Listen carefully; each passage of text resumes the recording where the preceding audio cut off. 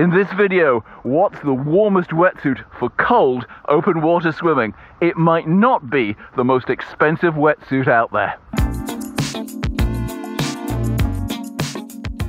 When I first started winter swimming here in Scotland, I emailed all the wetsuit manufacturers and said, okay, which is your warmest wetsuit?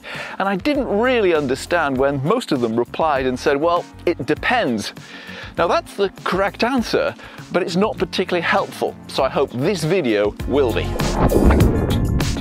Wetsuits work by trapping a layer of water between the suit itself and your body. It is a wetsuit, you do get wet and then your body heat warms that trapped water.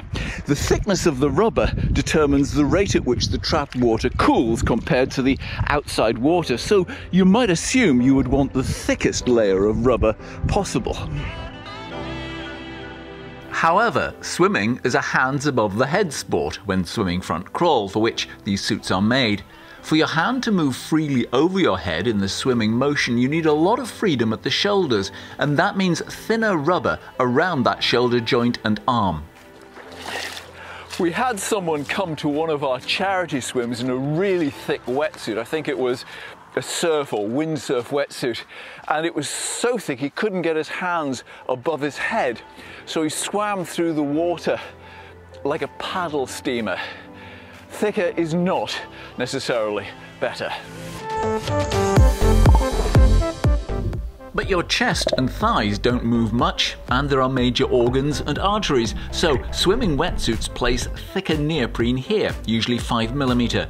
Most swimming wetsuits are the same thickness, 5mm on chest and thighs, thinner over the arms for movement. So if they are all the same thickness, how can some be warmer?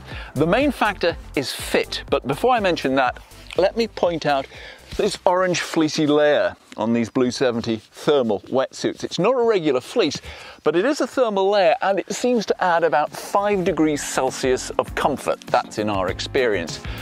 blueseventy have given me some discount, but that is not why I'm saying this. I like their suits because the most important factor is fit. While you swim, you want the water that your body heat has warmed to stay trapped within the wetsuit. If the wetsuit is too large, then as you swim through the water, the suit will flush. Warm water will flow out, cold water will flow in, and you'll quickly get cold. So the warmest wetsuit is the one which fits you tightest. When you first buy it, it should almost be too tight. You should feel squeezed because it will stretch with use.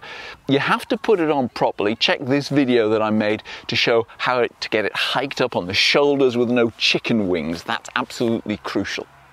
My blueseventy suit has lots of different neoprene panels, stitched and bonded together. It also comes in a range of different heights and body shapes and sizes, because different panels allow the company to vary the cut you have more chance of finding one which fits you. Not exactly a tailor-made suit, but better than a simple off-the-peg. As a result, it's relatively more expensive.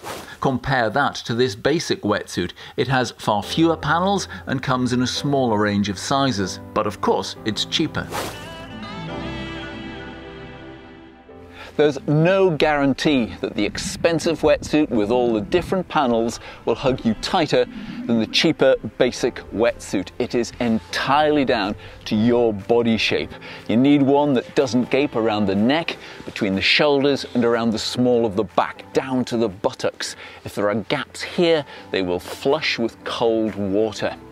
If in doubt, go tighter.